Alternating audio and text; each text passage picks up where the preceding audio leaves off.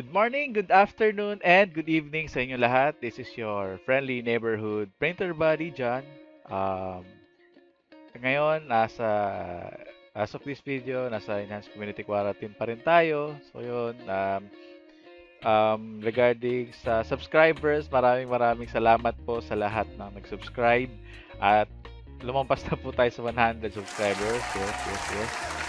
Ang goal po natin is 1,000 subscribers sana. Ayan. So, habang papunta tayo doon, eh, turo-turo pa rin tayo. So, etong episode na to is going to be short, pero tingin ko importante to sa ating lahat, kahit sa akin.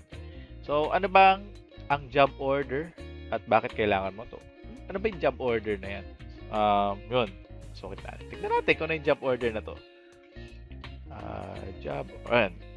Job order, ito ang detalyadong record ng mga impormasyon tungkol sa tinanggap na trabaho. Mali spelling ang tinanggap mo. Tinanggap na trabaho. Dito nakalagay ang client name, number niya, type of type ng order, ilang piraso at iba pa. So, yon.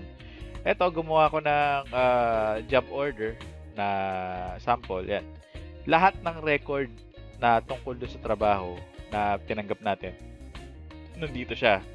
So, yan, may type of job, kailang piraso, kung anong klaseng file ang provide sa additional details. So, yun.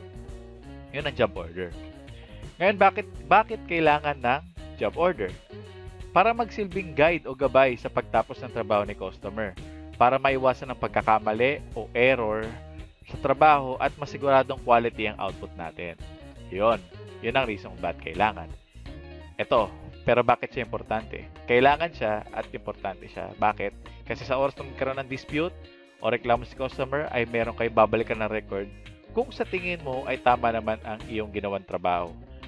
So, importante to kasi katulad nung uh, uh, sa episode natin na yung mga four biggest mistake na nagawa ko sa printing. Um, kung may kung yung iba doon, kung mayroon akong job order na naiwasan yon tapos pinakita ko doon sa mga ano sa mga employees natin. So 'yun, yung job order, importante siya kasi doon naka-record lahat eh. Um, kung magkaroon ng ano, oy bakit hindi ganito yung kulay? Bakit ganito? Ba't ganyan? At least meron kang ebidensya na pwede mo sabihin na, Sir, ito po yung ano eh, um, ito po yung nakalagay sa job order. Di ba napag-usapan po natin to? So, kung babalik ka sa, sa job order na ginawa ko, meron siyang uh, meron kang client signature at meron kang authorized signature. Tapos, nakalagay pa dyan yung details. So, make sure na um, nailagay nyo lahat. Tapos, yan, may delivery address just in case na for delivery. Kailan ang due date? Yan, nakalagay din. Tapos, yung FB at email. Dahil kailangan, alam mo yung contact details ni customer. Alam mo kung saan siya i-reach siya siya tatawagan kung sasakaling, ay sir, uh, maiipit po tayo kasi meron pong uh, delay sa ganito, delay sa ganyan. At least alam ng customer na na ano, uh, advice siya, uh, well-informed siya sa mga nangyayari sa uh, trabaho pinagawa niya. So, yun. Uh, that's it. Uh, yung bonus feature lang natin is para sa ano, para sa inyo, bibigyan ko kayo ng copy nito uh, as PDF file para ipiprint nyo na lang. Um, ang laki niya is kalahati siya ng bond paper. Tapos, uh, pwede nyo hatiin sa gitna. So, yun. Di ba? Short lang yung episode natin uh, for, for this topic. Yan ang kahalaga ng job order. Uh, just uh, record lang nung ano, nung ano yung mga kailangan gawin or yung mga details na uh, order ni customer.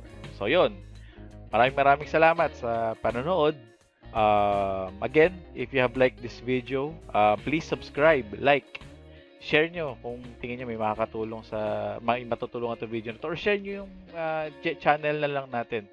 Um, tapos, kung meron kayong tanong, kahit ano, regarding sa printing. Sige, kahit hindi sa printing, try ko, try ko kayong tulungan. So, yun. Um, ano pa ba? Uh, maraming maraming salamat for watching. Uh, this is your friendly neighborhood printer buddy, John. Have a great day everyone. Maraming maraming salamat.